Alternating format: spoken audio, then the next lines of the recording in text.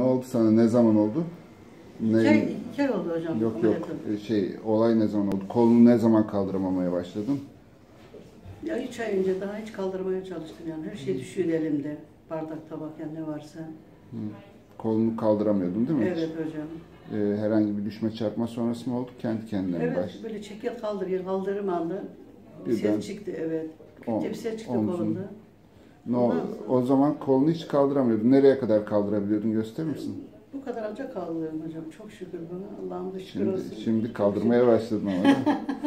Çok şükür Allah'ım da şükür o, o olsun. zaman herhalde işlerini güçlerini yapamıyordun, indirebilirsin. Evet Allah'a şükür. Şu anda yapıyorum hocam. Ne- o zaman ne- yapamıyordum Saçını evet. falan toparlayabiliyor muydun? Topluyorum çok şükür şu anda. Eskiden toparlayamıyordun ama değil Ya mi? toplarken böyle bardaklar, tabak evde kalmadı. Her şeyi kırdım.